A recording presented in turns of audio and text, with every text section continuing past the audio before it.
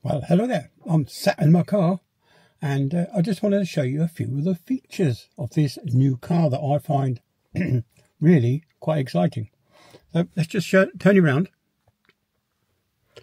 Now this is the steering wheel, right in the centre of the steering wheel. You've got four dots. Now that's quite uh, ingenious because four dots is the SOS for letter H. H is in as in uh, Hyundai. Anyway, let's have a look at the console. So let's start the engine. Is that is that too dark? Are you going to be able to see that? Oh, I don't know. I don't know.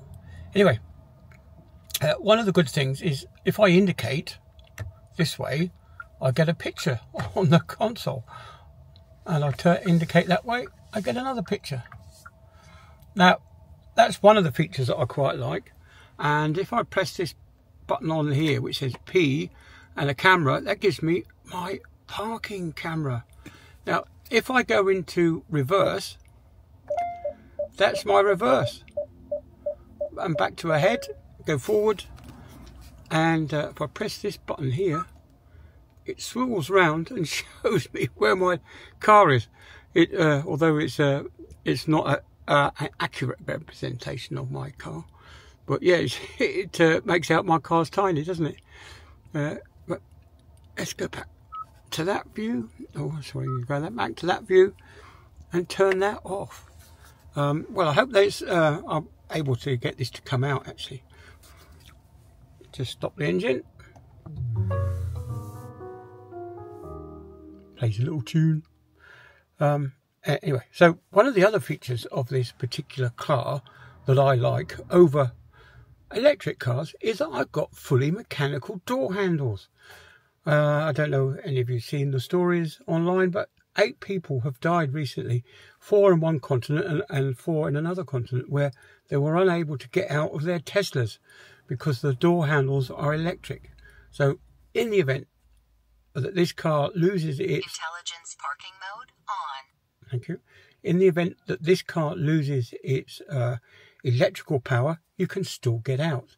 Although it does have a full, um, I should say, a, a petrol engine under the bonnet. It's a 1.6 litre turbocharged uh, engine. Um, so that's that's a prime mover. That's a, that was the sole reason that I got this car was to save money. Uh, that's better. It's more, but there we go. I've got a nice nice big sunroof, as you can see. Uh, well, that's nice. Right. Yeah, I'm still finding out the features of this car. Unfortunately, I parked under a tree last night and there's lots of uh, sticky little dots from the green fly or whatever they are up in the trees that busy sucking sap. And uh, what they do is they spit out the excess sugar and it lands on your car, makes everything sticky. So, yeah, our car's all covered in insect poo so I've got to get that clean. Uh, yeah, it's um, it's a, it's a, very nice car. I do like this car, and uh, it's a it's got a six six speed gearbox, uh, automatic, and uh, it gets you away from the traffic lights using the electric motor. And once you get going, the uh, petrol engine kicks in. Obviously, if you put your foot down, there, both are going to take over and propel you from the line like a rocket. So I don't do that. Anyway, so the idea is that I save money uh, on petrol by using the electric motor. The electric motor is charged up. If I turn you round again, right, if I point the camera down at the steering wheel, I've got these two paddles. This one here and this one over here, this flappy paddle gearbox, as it were.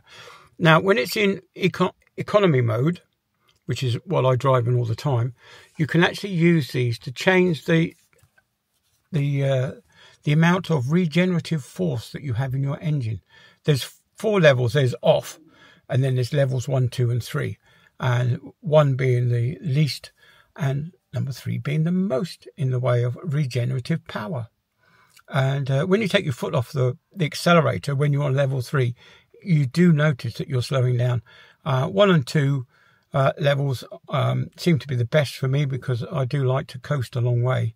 Uh, when a when a car in front uh, puts its brakes light on, I tend to lift my foot off the accelerator and slow down instantly rather than pulling up close and then suddenly braking.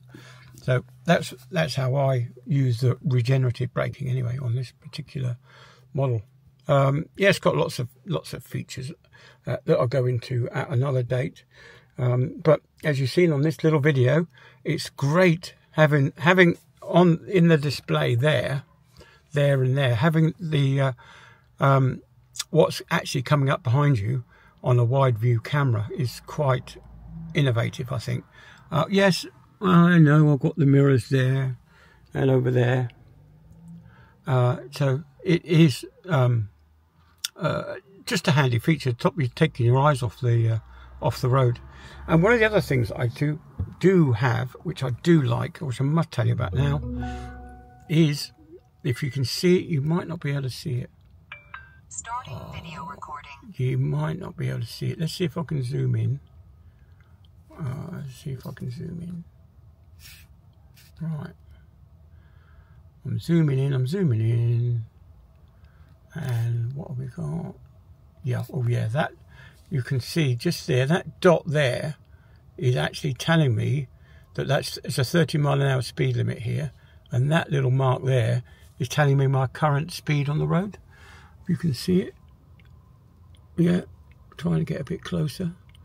But uh, yeah, so that's I've got a heads up display, which is absolutely fantastic. So let's turn the engine off, telling me that the sunroof's open. So shut the sunroof. Uh, zoom out and turn around. Uh, so there you go. I've got a, um, uh, the the features there gives me a head up heads up display, which helps with this with the sat nav as well. I'll get in, instructions on where the next turning is. Um, so that's quite exciting. And Intelligence parking mode on. right, intelligent parking mode on. Um, yeah, and one of the good things as well is that it's keyless entry. As long as the car key is in your pocket, you can open the car doors without unlocking it with the key fob. And the other advantage is that when you step out and step near the boot, the boot lid will open.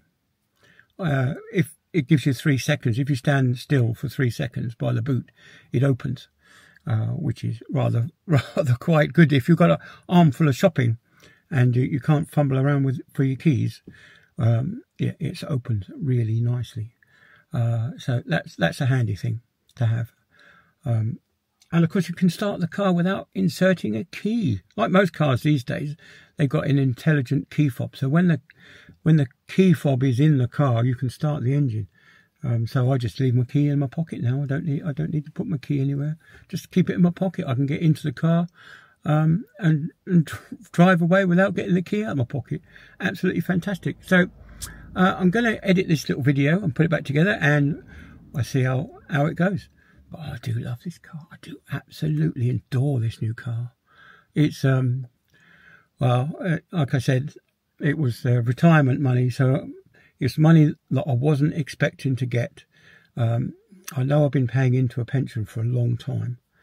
Um, you know, this is a good 40 something years, 42 years maybe, paying into that pension fund. And uh, I really didn't expect, I, I thought I'd get maybe 10 grand um, to spend. But no, I've got a I've got a huge a huge um, payout enough to buy this car, um, which is was uh, more way more than I expected.